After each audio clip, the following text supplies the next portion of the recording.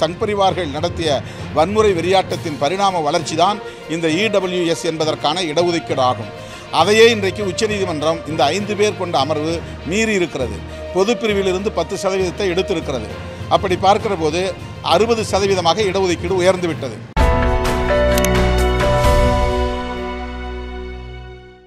அனைத்து கட்சி கூட்டத்தை கூட்டியிருக்கிற மாண்புமிகு முதல்வர் அவர்களை விடுதலை சிறுத்தைகள் கட்சியின் சார்பில் நெஞ்சார பாராட்டுகிறோம். அதில் பங்கேற்கக்கூடிய கருத்துக்களை சொல்லக்கூடிய வாய்ப்பை வழங்கியமைக்காகவும் நன்றியை தெரிவித்துக் கொள்கிறோம். இந்த பொருளாதாரத்தில் நலிவடைந்த பிரிவினருக்கு இடஒதுக்கீடு வழங்கும் என்னும் வழங்க வழங்க வேண்டும் என்கிற இந்த சட்டம் செல்லுபடியாகும் என்று உச்சநீதிமன்றம் தீர்ப்பளித்திருப்பது சமூக நீதிக்கு எதிரானது அரசமைப்பு சட்டத்திற்கு எதிரானது. ஆகவே இதை தமிழக அரசு ஏற்கப் போவதில்லை நடைமுறைப்படுத்தப் போவதில்லை என்பதை நம்முடைய மாண்புமிகு உயர்கல்வித்துறை அமைச்சர் அவர்கள் இங்கே அறிவித்திருக்கிறார்கள். தமிழக அரசின் சார்பிலே அறிவித்திருக்கிறார். இதை விடுதலை சிறுத்தைகள் கட்சி வரவேற்கிறது. ஓபிசிக்கு ஏற்கனவே இங்கு ஐம்பது சதவீதம் இருக்கிறது. மத்திய அரசாங்கத்தில் இருபத்தி ஏழு சதவீதம் இருக்கிறது. எனவே இருபத்தேழு சதவீதத்தை நாம் நடைமுறைப்படுத்துவதில்லை. ஷெடியூல் காஸ்ட்டுக்கு மத்திய அரசாங்கத்தில் ஒன்றிய அரசாங்கத்தில் பதினைந்து சதவீதம் தான் ஆனால் தமிழ்நாட்டில் பதினெட்டு சதவீதம். ஒன்றிய அரசாங்கத்தில் பழங்குடியினருக்கு ஏழரை சதவீதம் தமிழ்நாட்டில் ஒரு சதவீதம். எனவே இடஒதுக்கீடு தொடர்பாக ஒன்றிய அரசு நிறைவேற்றுகிற சட்டத்தை மாநில அரசு அப்படியே பின்பற்ற வேண்டும் என்கிற தேவை இல்லை.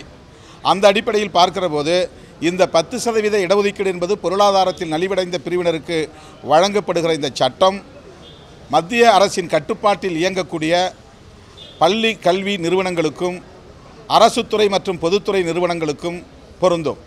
அதை அப்படியே மாநில அரசு பின்பற்ற வேண்டும் என்கிற கட்டாயம் இல்லை.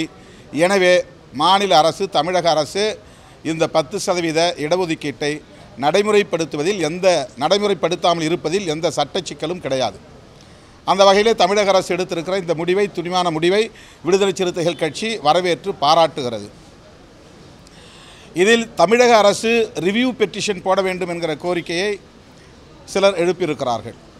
ஏற்கனவே யார் இந்த வ- இந்த சட்டத்தை எதிர்த்து உச்சநீதிமன்றத்தில் வழக்கு தொடுத்தார்களோ அவர்கள்தான் ரிவ்யூ செல்ல முடியும். மீளாய்வுக்கு செல்ல முடியும். முன்பு இந்த வழக்கு உச்சநீதிமன்றத்தில் தாக்கல் செய்யப்பட்ட போது தமிழகத்தில் ஆட்சியில் இருந்தவர்கள் அதிமுகவினர். அதிமுக அரசு அப்போதே இதில் ஒரு பார்ட்டியாக சேர்ந்திருந்தால் எதிர்த்து வழக்கு தொடுத்திருந்தால் இன்றைக்கு ரிவ்யூ பெட்டிஷன் போடுவதற்கு அது ஏதுவாக இருந்திருக்கும். எனவே அன்றைய அதிமுக அரசு செய்த பிழையின் காரணமாக இன்றைக்கு இருக்கிற திமுக அரசு அதில் ரிவ்யூ பெட்டிஷன் போட இயலாத சூழல் உள்ளது.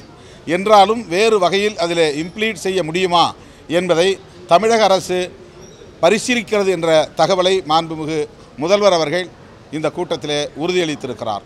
விடுதலை சிறுத்தைகள் கட்சி ஏற்கனவே நாங்கள் இதை எதிர்த்து வழக்கு தொடுத்த ஒரு பார்ட்டியாக ஒரு தரப்பாக இருக்கிறோம். எனவே எங்கள் தரப்பில் மறு ஆய்வு மனு தாக்கல் செய்யப்படும். மறு ஆய்வு மனுவில் நாங்கள் லார்ஜர் பெஞ்சுக்கு விரிவான பேரமர்வுக்கு இந்த வழக்கை எடுத்துச் செல்ல வேண்டும் என்பதை வலியுறுத்துவோம். அதாவது ஐம்பது ஐந்து பேர் கொண்ட இந்த அமர்விலிருந்து ரிவ்யூ செய்கிற போது இதே அதே இதே அமர்வில் தான் இது ரிவ்யூ செய்யப்படும். அப்படி ரிவ்யூ செய்யப்படுகிற போது இதை ஒன்பது நபர்கள் கொண்ட அல்லது அதற்கு மேலான நபர்கள் கொண்ட இருக்கைக்கு விசாரணைக்கு அனுப்ப வேண்டும் என்கிற கோரிக்கையை விடுதலை சிறுத்தைகள் கட்சியின் சார்பிலே முன்வைப்போம். அதையே திராவிட முன்னேற்றக் கழகமும் இதர இந்த இதில் ஏற்கனவே இடம்பெற்றுள்ள தரப்பை சார்ந்தவர்கள் கட்சியை சார்ந்தவர்கள் இந்த கோரிக்கை வைக்க திட்டமிட்டிருக்கிறோம். அது குறித்து திமுக தரப்பு வழக்கறிஞர் வில்சன் அவர்களும் இன்றைய கூட்டத்தில் உறுதிப்படுத்தியிருக்கிறார். திராவிட முன்னேற்றக் கழகமும் இதை லார்ஜர் பெஞ்சுக்கு கொண்டு போக ரிவ்யூவில் நாங்கள் சுட்டிக்காட்டுவோம் என்பதை கூறியிருக்கிறார்கள். எனவே இந்த அனைத்து கட்சி கூட்டம் மிகவும் ஆர்க்கப்பூ ஆக்கப்பூர்வமாக அமைந்தது. இது தேசிய அளவிலான ஒரு பிரச்சனை.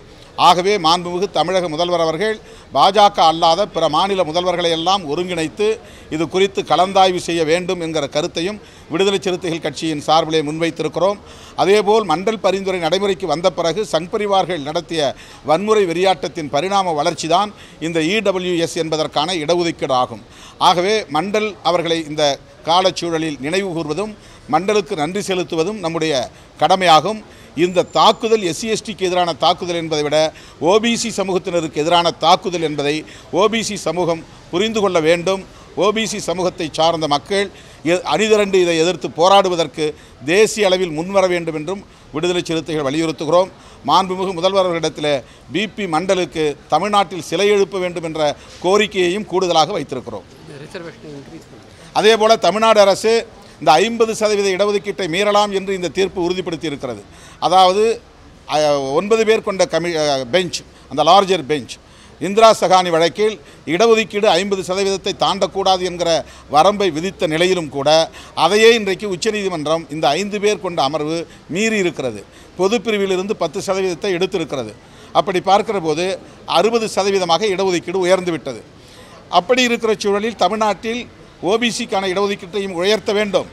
ஏற்கனவே டேட்டா இருக்கக்கூடிய சமூகமாக எஸ்சி இருப்பதனால் அவர்களுக்கு இருபது சதவீதம் பதினெட்டை இருபது சதவீதமாக உயர்த்த வேண்டும் என்கிற கோரிக்கையையும் இந்த அனைத்து கட்சி கூட்டத்தில் மாண்புமிகு முதல்வரின் பார்வைக்கு வைத்திருக்கிறோம்.